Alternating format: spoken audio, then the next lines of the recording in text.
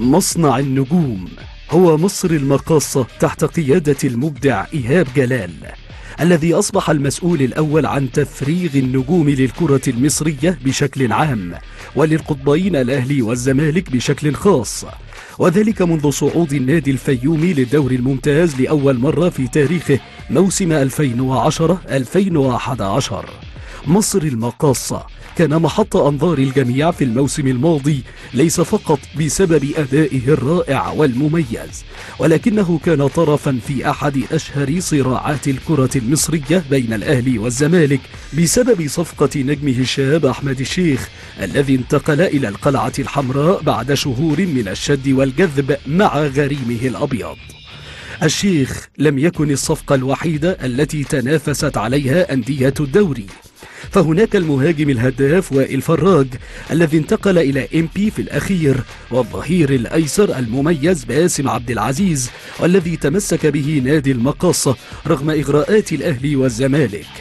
ومثل ما كان الحال في الموسم الماضي هو يتجدد الآن مع اثنين من أهم لاعبي الكرة المصرية في الوقت الحالي. محمود عبد العاطي دونجا عمرو بركات. هما نجما مصر المقاصة في هذا الموسم ويرتبطان بكل قوة للانتقال إلى القطبين في الصيف المقبل.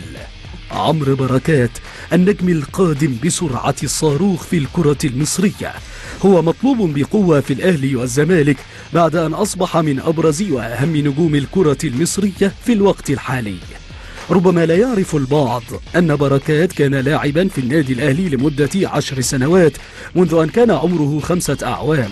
ولكن تم رفضه في مدرسة الناشئين بسبب ضآلة جسده لينتقل إلى ناشئ الزمالك تحت سبعة عشر عام.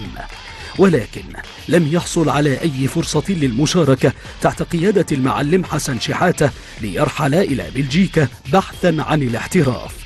لكن القدر أعاده إلى مصر دون أن تنجح كل اختباراته في الأندية البلجيكية حتى انتهت فترة إقامته وعاد إلى مصر وفضل السماع إلى نصيحة والده بالبقاء. عاد للزمالك مع فييرا لكنه لم يوقع عقودا فخطفه المقاصة وتدرب مجددا تحت قيادة العميد ومن ثم إيهاب جلال. حتى أصبح من العناصر الأساسية للفريق لا سيما وأنه سجل ستة أهداف وصنع هدفين في 18 مباراة وبواقع 965 دقيقة فقط في الدور العام. بركات صاحب الأحلام الكبيرة مع إبراهيم فايق في السوبر.